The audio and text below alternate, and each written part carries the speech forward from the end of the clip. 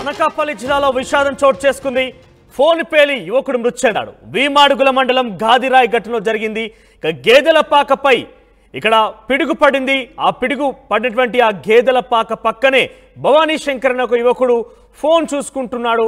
So ఈ నేపథ్యంలోనే phone పేలడంతో Bhavani శంకర్కు తీవ్ర గాయాలయ్యాయి. హాస్పిటల్కు తరలిస్తుండగానే మార్గ మధ్యలోనే ఆయన మృతి చెందాడు. ఒకసారిగా ఆ పిడుగు పాటు పడడంతో గేదెల పాక మొత్తం కూడా అక్కడ అగ్ని ప్రమాదానికి గురి అయింది. సో పక్కనే ఆ పిడుగుపాటు పడినటువంటి పక్కనే భవానీ శంకర్ ఫోన్ చూస్తూ ఉన్నాడు. సో ఆయనకి కొంత ఈ ఎఫెక్ట్ చూపించింది. దీంతో ఫోన్ కూడా పేలింది. ఒక్కసారిగా బ్లాస్ట్ అయిన పరిస్థితి కనబడింది. ఆ తర్వాత కొన్ని గాయాలయ్యాయి. గాయాలైనటువంటి భవానీ శంకర్ని హాస్పిటల్కి తరలిస్తుండగానే మార్గ మధ్యలోనే మృతి చెందారు. ఎస్ దీనికి సంబంధించి మరింత సమాచారం ప్రతినిధి నాయుడు అందిస్తారు. ఎస్ నాయుడు.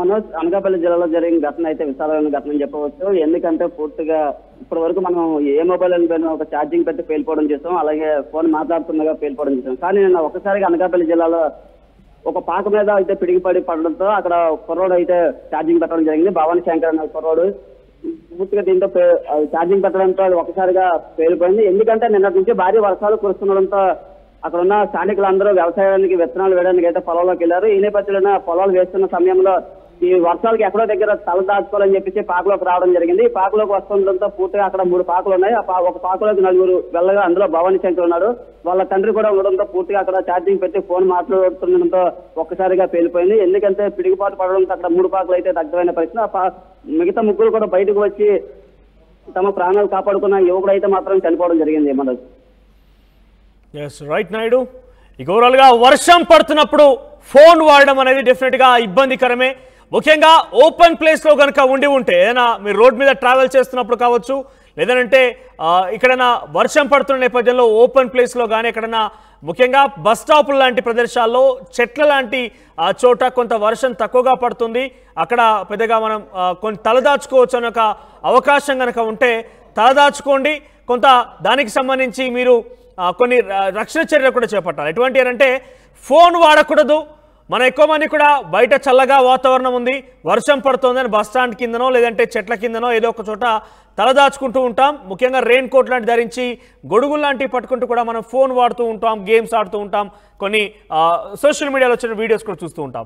సో ఈ నేపథ్యంలోనే పిడుగు కనుక పడితే డెఫినెట్గా రేడియేషన్ కారణంగా మీ ఫోన్కి కూడా ఆ పిడుగుపాటు గురవాల్సి వస్తుంది. మీ ఫోన్ బ్లాస్ట్ అయ్యే అవకాశం కూడా ఉంటుంది. సో డెఫ్ ఎవరు కూడా అటువంటి చర్యలకు పాల్పడకూడదు అటువంటి పనులు చేయకూడదు. మీరు డెఫినెట్గా చాలా కాషియస్గా ఉండాలి. వర్షం పడుతున్న నేపథ్యంలో వాటికి చాలా దూరంగా ఉండాలి. ఇక వర్షం పడుతున్న నేపథ్యంలో ఏమైనా కనుక ఎలక్ట్రానిక్ పోల్స్ కనుక ఉంటే ఎలక్ట్రిక్ పోల్స్ కనుక ఉంటే కింద వైర్లు పడడం కావచ్చు అలాంటివి జరుగుతూ ఉంటాయి. వాటి విషయంలో కూడా కొన్ని చర్యలు తీసుకోవాలి. ఒకవేళ కనుక హై టెన్షన్ వైర్స్ ఉన్నా కూడా హై టెన్షన్ వైర్స్ బేసిక్గా గ్రౌండ్ క్లియరెన్స్ని చూసి డెఫినెట్గా అక్కడ ఎటువంటి ఎలక్ట్రిక్ ప్యాసేజ్ లేకుండానే ఎర్త్ లేకుండానే వాళ్ళు రూపొందిస్తూ ఉంటారు. ఎలక్ట్రా ఎలక్ట్రిక్ సిటీ సిబ్బంది. కానీ ఒకవేళ కనుక వర్షాకాలం కా- కాబట్టి డెఫినెట్గా కింద కాస్త పచ్చిగానే ఉంటుంది. సో పైన ఎలక్ట్రిక్ వైర్స్ సంబంధించి సప్లై ఉన్న నేపథ్యంలో కూడా కొంత ఎలక్ట్రిక్ సప్లై అవకాశం కూడా కనబడుతుంది. కొంత ఎర్త్ వచ్చే అవకాశం ఉంటుంది. అక్కడ కూడా మీరు ఫోన్ వినియోగించినా కూడా డెఫినెట్గా ఇటువంటి బారిన పడక తప్పదు. సో ఈ ఘటన మనకు కొంత ఉదాహరణగా తీసుకోవాలి డెఫినెట్గా.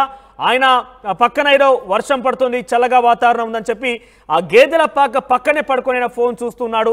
బహుశా ఆయన ఊహించి ఉండకపోవచ్చు ఒకసారిగా ఆ గేదెల పాక ఏదైతే ఆ పశువుల దొడ్డి ఉందో అంతా కూడా కొంత అగ్ని ప్రమాదానికి గురైంది పిడుగుపాటుతో.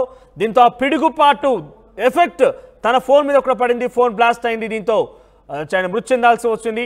సో ఒకసారిగా మన ఫోటోలు చూస్తే కనుక పెద్దగా వయసున్న వ్యక్తి ఏం కాదు చాలా టీనేజ్లో ఉన్న వ్యక్తి బహుశా భవానీ శంకర్ అనే ఒక యువకుడు ఫోన్ అనుకున్న బహుశా ఆయన ఎక్కడ కూడా ఊహించి ఉండడు. ఒక పిడుగుపాటికి ఫోన్ బ్లాస్ట్ అవుతుంది తను మరణించి ఉంటాడని కూడా ఎక్కడ అనుకుని ఉండడు. కానీ అనుకున్నటువంటి న్యాచురల్ కెలమిటీస్గా మనం చెప్తూ ఉంటాం వీటన్నిటి కూడా. సో ఈ నేపథ్యంలో మీరు కూడా అలర్ట్గా ఉండాలి. ఎటువంటి చర్యలకు పాల్పడకూడదు.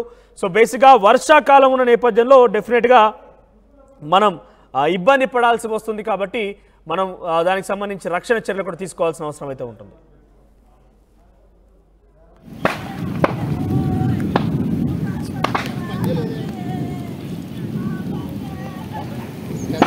అది